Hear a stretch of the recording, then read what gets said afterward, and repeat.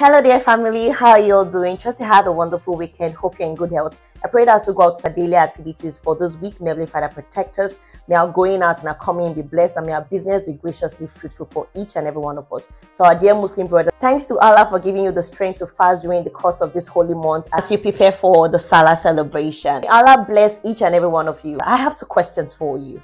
One, the money that is lying idle in your bank, is it currently appreciating? Is that money also generating a daily or yearly rental income for you?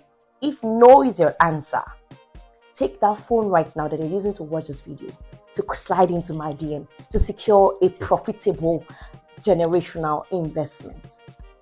It is high time you sit back and tell yourself that uh, you should stop being a doubting Thomas and own lands and acres in a major location such as Epe and Ibeju-Lekki, be it a residential or a commercial property, especially those facing the express road.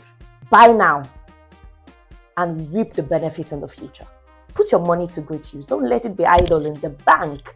Family, if you agree with me, it is unwise for us to put all our eggs in one basket. It implies to real estate investment. It is unwise to put all your investment in one particular state.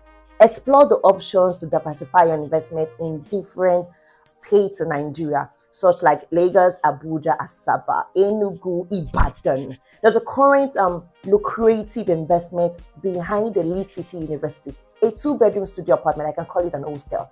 Take advantage to own units of it right now because it's an off-plan project. You're buying below the market value right now. It appreciates as the project is going, and even when you start using it for your rental income, the property is appreciating and it's also bringing a daily income for you.